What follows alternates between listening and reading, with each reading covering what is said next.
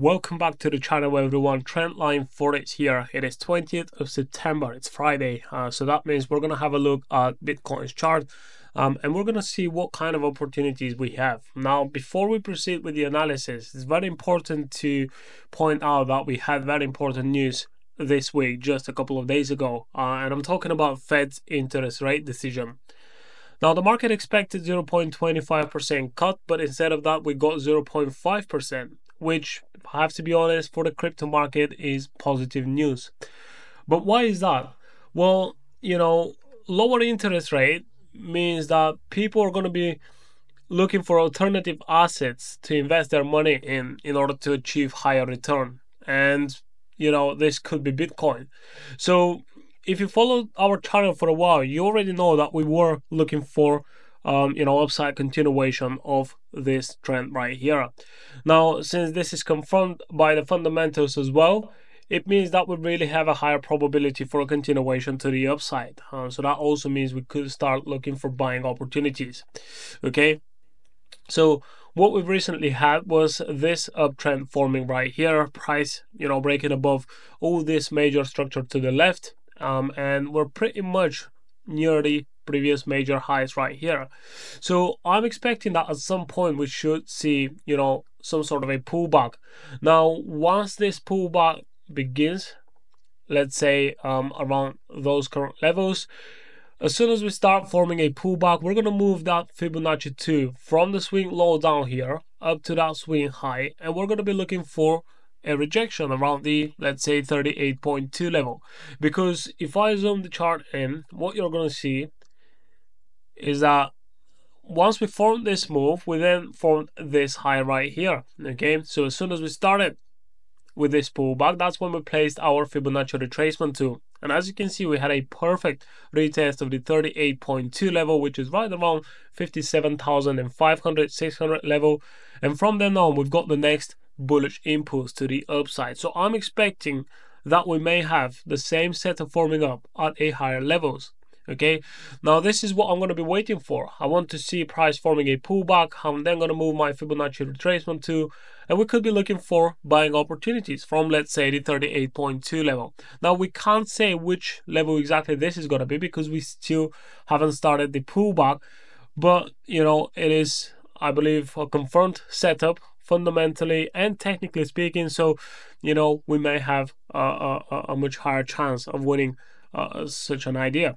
So when you're trading crypto through leverage, you know, um, on a CFD platform, it means that you need to find the best entry opportunity. If you're looking to buy right now, obviously that doesn't make a lot of sense because we're literally at the highest point in price. So we need to find a stop loss level and you know any level that you're looking below current price levels it's quite far it doesn't make any sense we're going to be entering a long trade here place our stop loss anywhere down here so obviously we're not going to have a good risk to reward ratio even though i'm expecting long-term price should continue higher. So if we look at the daily time frame what am i talking about? Well this is the previous daily high that we're currently testing okay? Now once we break above that we then have this next high okay right around the 68,000 level. And once we break above that as well we then have this major resistance right around the 72,000 level okay? So obviously it's going to take some time for price to break above all those levels. And if you're going to be staying in the trade then you know um, you will have different kind of expenses. So we really need to find the best entry opportunity okay? Now this is pretty much what we can look for you know a rejection off of this level a pullback and a higher low where to potentially enter a trade. Another entry opportunity would be to wait for price to break above this high potentially come back for a retest and again at that point we're going to have a higher low so we can then look to you know buy and continue this move to the upside um, these are pretty much a couple of entry opportunities. I'm definitely looking for setups here on the higher time frames only. Okay, and I think that makes a lot of a lot more sense, uh, at least at the moment. So this is pretty much what my idea is. Like I said, we've got a confirmed analysis by the fundamentals as well. We've also got our technical levels plotted on the chart.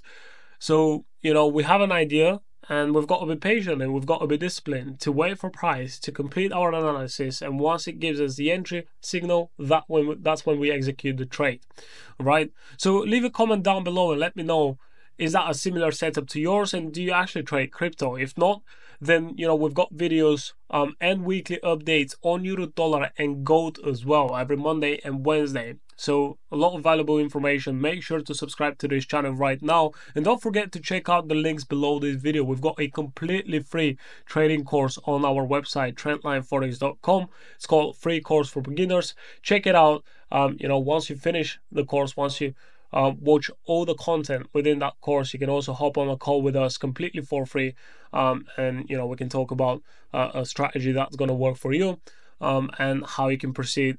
Uh, you know, learning how to trade um, to eventually become a successful trader. So, like I said, check out all the links below this video. Don't forget to subscribe to this channel and leave a comment down below. Also, join our free Telegram channel. That's where you're gonna get weekly updates on setups like Euro Dollar um, and other um, instruments as well. I'll see you in the next video and I wish you all the best.